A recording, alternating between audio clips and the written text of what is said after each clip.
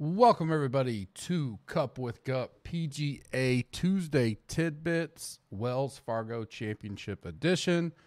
Gup here, as usual, every Tuesday. Quick little five ten minute pod. Go over uh, kind of deep dive results. What I felt um, since doing the original pod and consuming some industry um, information as well between reading articles and podcasts and stuff like that. Just a little kind of in between pod between Smash Factor and our final Wednesday mover and shakers, and then all the premium content that comes along with it.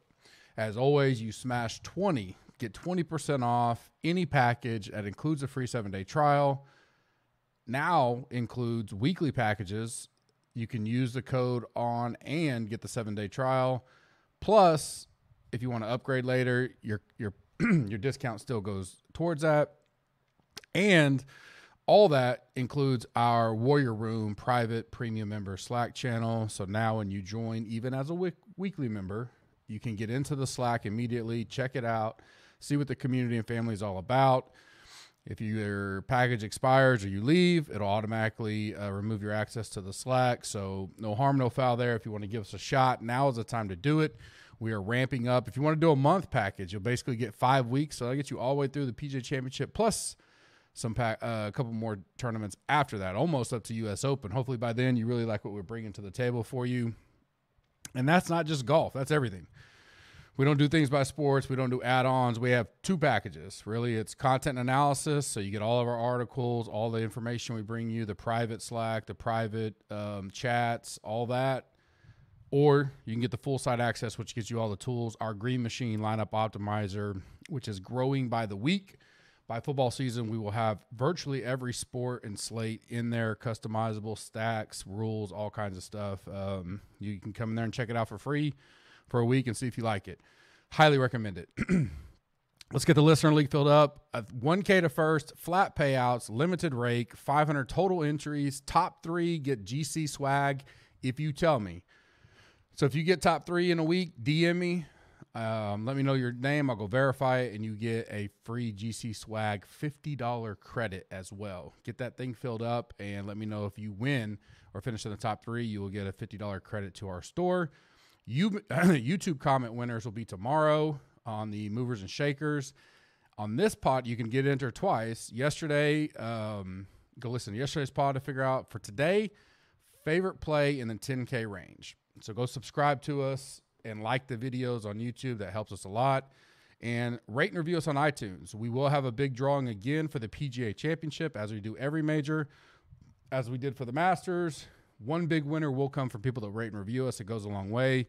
Truly appreciate it.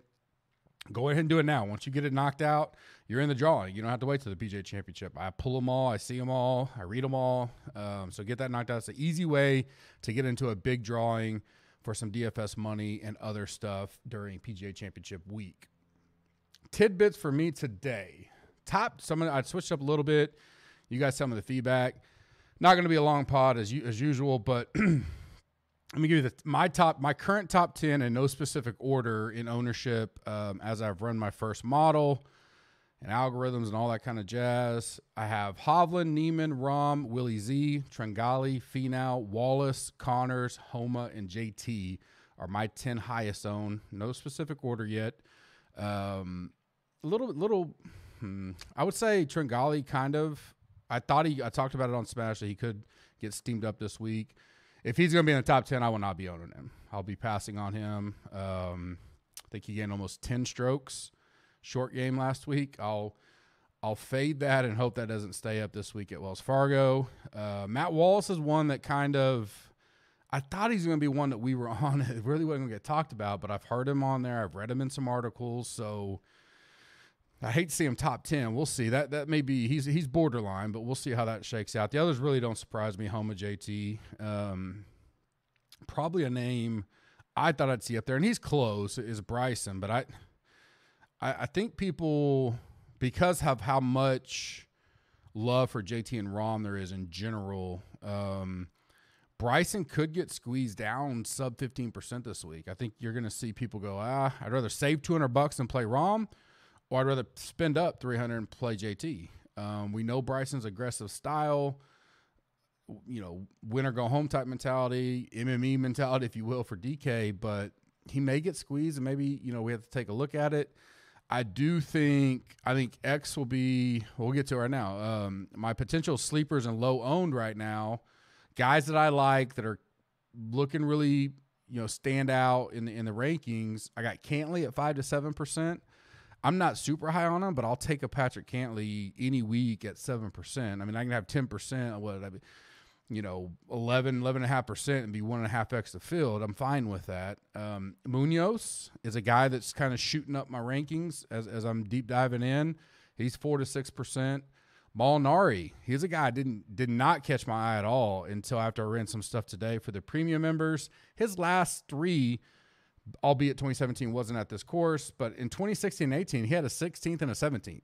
And an Eagle Point, which it's not it's not Hollow, but it's you know somewhat similar, uh, 24th. So pretty good record over over there in that area. Um, he still doesn't like pop pop for me, but he's going to be two two to three percent probably, maybe four percent. So that's a name that kind of moved up the board for me. And then Pat Perez, um, where's old Pat at?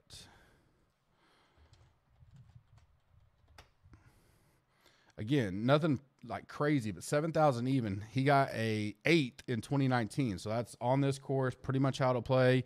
A 67th at Valero, miscut at RBC, and then a 29th last week at Valspar. So kind of, you know, okay form coming in. Played well here, obviously. He got a second at Eagle Point again. I know Eagle Point's not the same, but second at the Wells Fargo back in 2017. I don't hate Pat Perez moving up the board a little bit. He's going to be in that 3 to 6% own range as well. Guys I got marked as lower than they should be. Number one is Rory. I just maybe I'll die on this hill. Um, you know, if I do, it is what it is. But I don't. I don't see him. I guess people just obviously his expectations are so high that we do we you know some people are like do we grade him higher than we should. Um, you know I don't know that. Um, what I do know is his ceiling is to win. And so if I can get him at the cheapest option in the 10K range at right now, I got him at 9, 10% range. Nine, let's call it 9 11%. I'm going to play that type of guy every week. Um, again, I did it at the Masters for similar reasons. He didn't play so well, but his, I mean, he's still got pretty good cut, you know, make the cut equity, and then can get hot at times. You know, I mean, you, Rahm's finishes, while he's been great, I'm not going to take anything away. There are several of his finishes that are kind of Hovland like, where he really, I think the reason why he's not on a lot of people's minds, he's on everybody's mind, but is because like he's not really been in these tournaments, even the Masters. Like I don't really feel like he was ever in it. He's finished strong on Sunday several times this year to kind of get in that backdoor top ten, look really good um, finish strong type deal, but never really come out storming per se. Now he has here and there, and I, I like Rahm. I have no issues with him. I think he'll, he'll probably be one of the highest owned on the slate, but that'll be the only question mark there. I'm I'm probably going to get Rory at almost half the ownership of Rahm. I, I, mean, with Rory's history here, I'll just I'll just take that. Maybe that changes by tomorrow. We'll see. Second is Schauffele. I'm not a big huge Schauffele guy anymore. I was on him very early in his career. I was on his both his first two victories. Um, third at the Masters. I don't know this course is the best for his game. He can certainly he can win here. I'm not discrediting that, but he is 72nd 2018. Hasn't played since the Masters. Um, not saying that he's going to shake off rust or whatever. Bermuda splits. He's 82nd in the field on the putting splits for me. Bermuda versus um, you know the standard, and so although he's eight percent, you know he's one that I'd be flirting with. Do I even want to put him in the pool? The only way I put him in the pool is if I feel like fading two of three between Bryson, Rahm, and JT. If I fade two of those guys, then maybe I bring him in because I'm not going to be playing Webb. I don't really care what Webb. Webb's going to be somewhat low owned as well. He'll be 10 to 12, 13 percent. Uh, I just don't like him here. I don't, I don't like, uh, you know, he can probably do well, and he probably will, and I'll just have to eat it. But you can't play all these guys up there. I mean, you eventually spread yourself too out, too thin, and so you got to start making cuts there. Next is Bubba. I think Bubba's going to be seven, eight, nine percent. I love that. I love his price. I love his form. I love where he's at. I liked him yesterday. I, I like him at sub ten percent. So Bubba's going to be high up on the list. And then Aaron Wise talked about him a little bit yesterday. I heard a couple mentions of him. Nothing real super strong. Um, I got him about five to seven percent. could get as high as eight, nine. But again, the 18th and second here, the last two years out, um, 44th at the Valero. He's 36 in stats, which all that together is just a really solid player a good potential, but he's only 7,100. So it's not like I need him to go out here and win this. If he comes in here and finishes 19th, you know, or 22nd with some scoring upside, um, that's that's all we need out of that. So I like Aaron Wise this week. Weather as a weather update is perfect. It absolutely is going to be a great week for these guys. Some wind, nothing crazy, no rain at all. They're they're dealing with most of the rain today and tomorrow. These systems that is coming through the whole basically southern U.S. right now. So they'll have some spot showers here or there, but Nothing once Thursday tees off. So it's going to be a great weather week. We really don't have to worry about that. We don't have to worry about weather stacks or anything like that. Don't forget, and I mentioned this before, that if you're doing your research um, on Gups Corner in our database, you can easily click, you can click and unclick the 2017 Wells Fargo. So uh, if you don't want to include the Eagle Point, and you can add the 2017 PGA Championship if you want. So However, you want to do that, that's up to your call. Just make sure if you're using someone else's site, make sure you have that capability so you don't pull in Eagle Point statistics if you're really trying to hone in on course history stuff. Some people don't even look at course history or course fit, or they just go by my ranking, so that's fine as well. I hope you guys have a blessed week. I'll be back tomorrow for Wednesday's movers and shakers. Thank you.